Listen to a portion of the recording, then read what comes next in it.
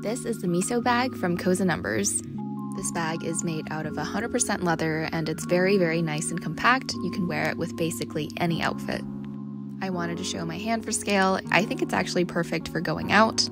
There are some really cool industrial details around the bag, and it also has a very unique strap that's also very durable. Lastly, I love that this bag was made with ethically and locally sourced materials.